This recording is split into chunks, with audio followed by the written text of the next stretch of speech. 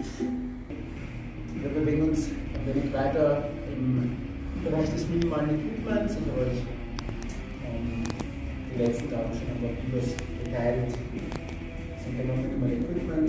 Heute schauen wir uns was an den Überlingen an. Normalerweise sind wir irgendwie ganz gut verankert und wir können alles damit machen, was ihr mit einem TRX machen könnt.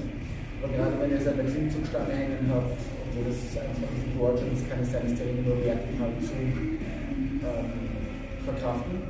Wir wollen trotzdem am oberen Rücken arbeiten, besonders darin kommen nur Ideen. Das heißt, wir machen einen Inverted Row, allerdings aus einer Tuck-Position. Das heißt, der normale Inverted Row,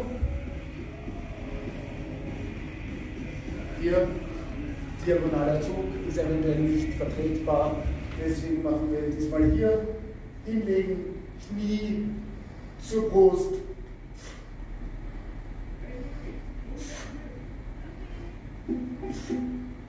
und wir arbeiten an Oberflächen.